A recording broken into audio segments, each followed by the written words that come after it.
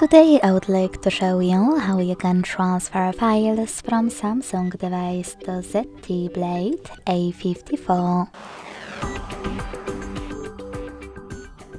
Begin by opening Play Store on both and getting this app called Send Anywhere. When it's ready, open it. Then to set it up, tap on the same options in both apps. Firstly, I agree and I acknowledge. Then confirm. Continue. And allow.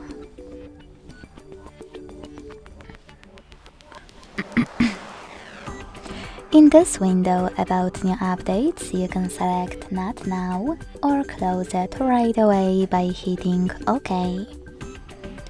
Then click on your device's screens and select Send at the bottom left corner of Samsung. Then Receive right next to Send at the bottom of ZTE. Also on Samsung, use all of those categories at the top and select all of your files to send.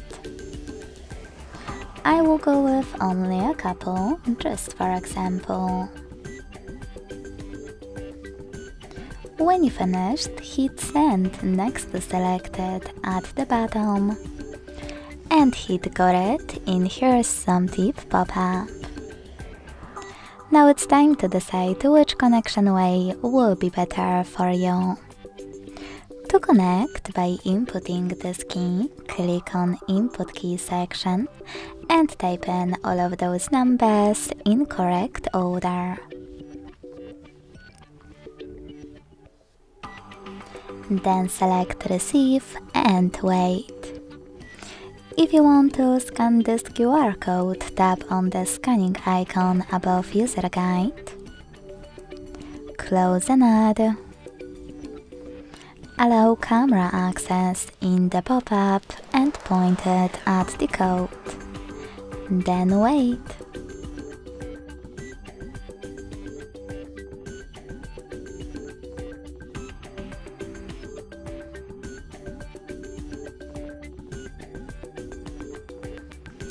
As you can see, after that, all of my files were successfully sent.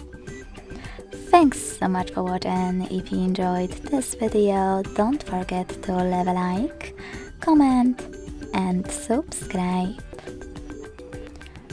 Bye!